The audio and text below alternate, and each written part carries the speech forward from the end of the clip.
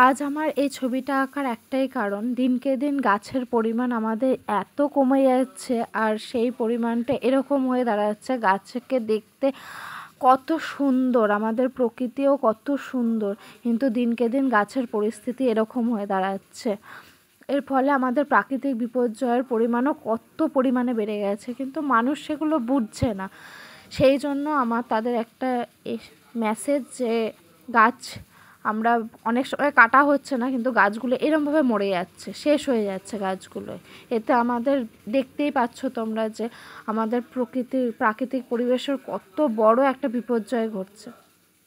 এই গাছ কাটার ফলে আমাদের অক্সিজেনের পরিমাণও কমে যাচ্ছে, রোগ, ব্যাধি প্রচুর বেড়ে যাচ্ছে। সব কিছুর দিক দিয়ে আমরা এখন এই গাছের ফলে আমাদের প্রাকৃতিক পরিবেশেরও অনেক বিপর্যয় ঘটে যাচ্ছে। তাই আজ আমি এটা একটা ড্রয়িং করে তোমাদের দেখালাম।